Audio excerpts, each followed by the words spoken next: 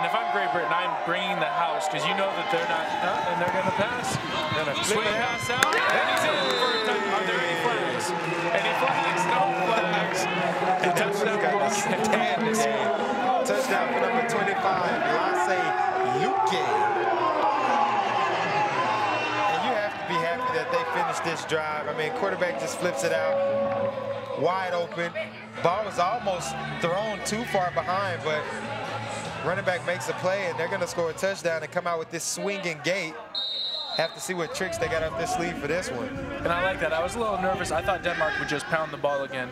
But if you are going to throw, I like the nice, easy swing pass because obviously your quarterback's been struggling in this game. As they go for the two-point conversion, they're going to get it. And this, this is probably the most frustrating thing that teams have had to try to defend this swinging gate. And it's been their bread and butter in this series. And Team Denmark again, man, still fighting, down by two scores, but finally was able to capitalize and finish the drive and put some points on the board late in this in this third quarter here. Yeah, and like I was saying, your quarterback's been struggling a little bit. A nice, easy swing route. Don't give him anything to read. Tell him where he's throwing the ball, and he delivers a nice catchable throw. A little bit behind, but catchable throw. Running back makes a nice, a nice play.